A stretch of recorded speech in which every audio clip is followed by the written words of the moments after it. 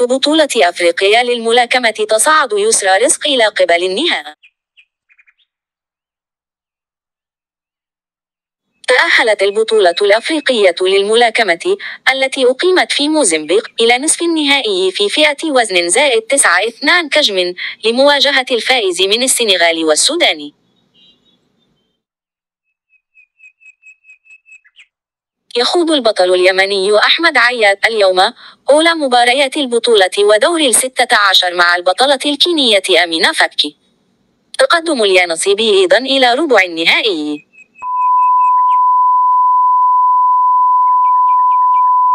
أحمد أسامة 54 كجم مع تيستو ميتانيكي بطل جنوب إفريقيا إيمان محمد فراج مع إليزابيث فيري بطلة زامبيا في وزن 50 كجم عمر خالد عبد الرحمن 57 كجم مع أرماندو ريغو بطل الموزمبيقي وزن عمر عبد العزيز عبد العزيز 67 كجم مع الفائز بالمباراة رقم 12 حسب جدول المسابقة.